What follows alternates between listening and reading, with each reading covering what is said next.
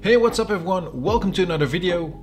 In the background you'll notice some footage of the weird but wonderful Williams FW26 I saw not too long ago in a museum here in Belgium and I thought would be apt given the recent passings of Sir Frank Williams and the FW26's designer Antonia Terzi. You might have noticed I've recently reached the 500 subscribers mark and to celebrate this, I thought of doing a Q&A video, so if you want to ask me anything, drop your questions here in the comments down below, or DM me on Instagram at Great Champions Tiny Cars. I'll answer all of your questions in the uh, A part of the Q&A that I'll probably release in the beginning of next year, 2022.